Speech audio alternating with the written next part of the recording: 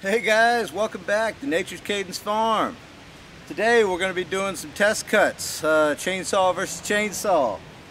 MS 290 to 390 conversion. I'll put some links up here to the playlist for the conversion. Uh, muffler mod, I drilled some holes in the muffler, just kind of anywhere. Here's a picture, and uh, you can see a couple on top, one in the middle, slot on the bottom, okay? Uh, put a plug in the decompression valve uh, Thrifty Garage had his top end explode on his because the decompression valve failed and dropped down in there and ruined everything. Uh, this is a 266 XP, vintage 1987, 89, somewhere in there, I'm not exactly sure. My dad bought this new back then. And uh, so anyways, we're gonna, this is a 18 inch bar, 325 pitch. This is a 20 inch bar, 3 8 pitch, so a little bit different, not apples to apples, but hey, we're gonna get it in there and try it out. Let's fire these things up and make some cuts.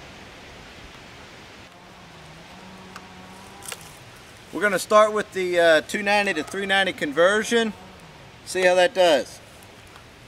Both of these have been warmed up, so they're ready to go.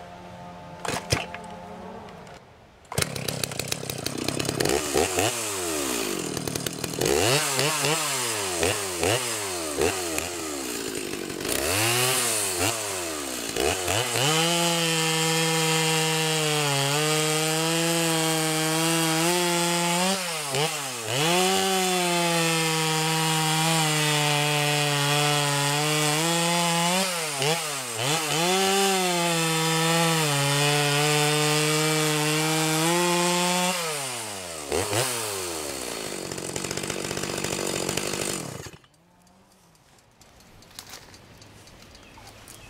right, here we go with the 266 XP.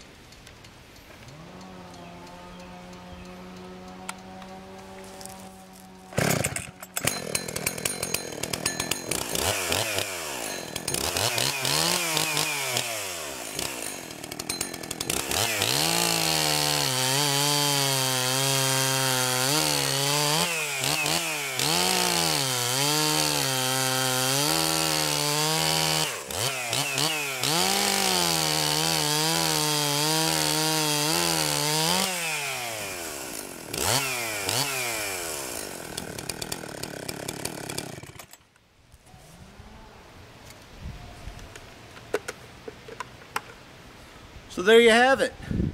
Pretty cool, huh? 266 XP, I love that saw. I'm a Husky guy. Um, obviously I own more Stihls than I do Husqvarna, but hey, whatever, right? I like them all. Uh, the Huskies just seem like they, uh, you know, the, especially the XP series, they just have a little bit more punch to them. But the Stihls I've found, if you take care of them, I think they last forever, really. I mean, they really do. They're, they're tough. The bottom ends on those things are tough. So, either way, there's a side-by-side, head-to-head comparison for these two.